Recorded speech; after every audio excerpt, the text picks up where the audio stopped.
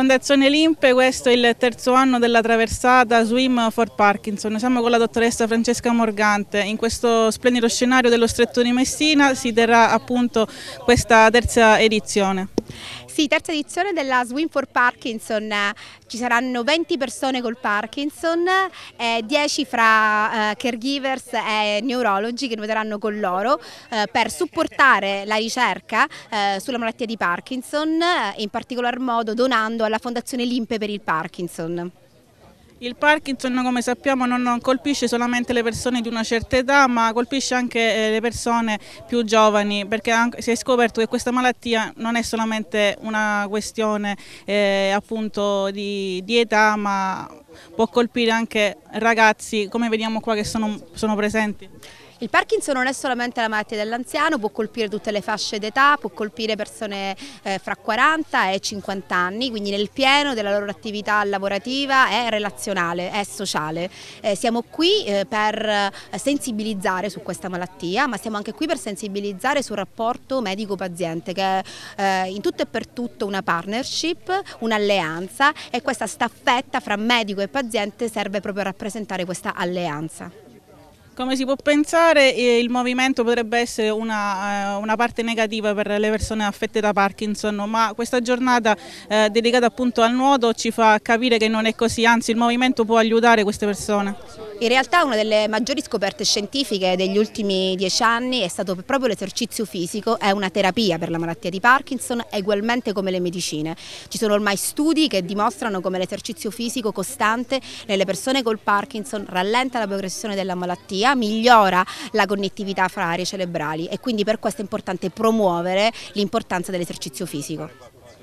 Lei appunto parla di, di cure, di terapie, ma c'è una vera, cioè si può fermare il Parkinson o siamo ancora a solamente a delle terapie, non c'è una vera e propria cura che può fermare la malattia? In atto abbiamo solo cure sintomatiche, anche molto potenti come la terapia chirurgica, ma non abbiamo una terapia che sia in grado di fermare la malattia perché non conosciamo bene i meccanismi di questa malattia.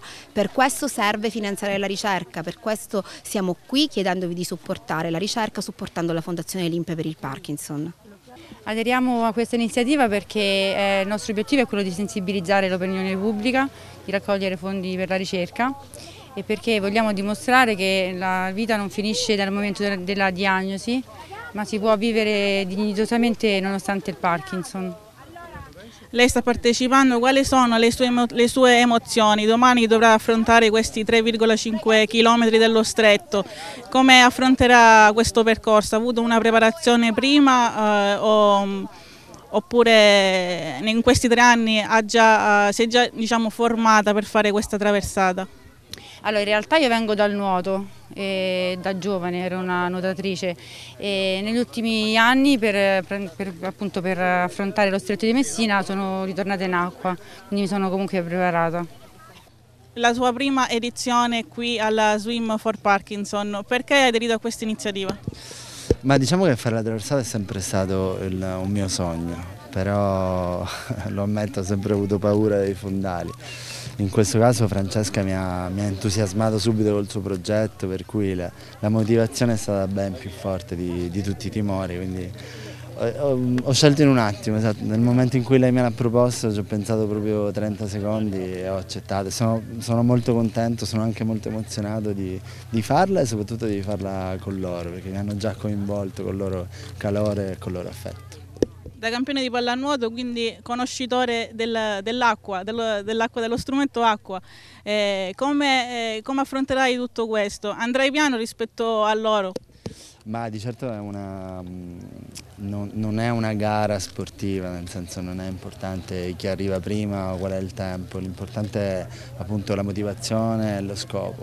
Poi io sono esperto di acqua colorata, non di acqua, acqua di mare, per cui tutto è possibile, probabilmente saranno loro a darmi conforto eh, nei momenti di difficoltà, insomma saremo una, una bella squadra, quindi sarà bello arrivare fino in fondo. Messina, Cannitello, Capopeloro Cannitello, è una, una traversata un po' impegnativa, 3,5 km, ma come hai detto tu i tempi non sono importanti, l'importante è arrivare. Ma penso che quando c'è una motivazione così forte, c'è un entusiasmo come quello che sto vedendo oggi, poi la fatica passa in secondo piano, quindi mi auguro che sia una giornata bellissima come quella di oggi, sia dal punto di vista delle condizioni climatiche che dall'entusiasmo che si respira appunto in, questa, in questo ambiente, per cui tre chilometri e mezzo secondo me diventeranno pochissimi rispetto alla portata di, insomma, di quello che stiamo facendo. Oh,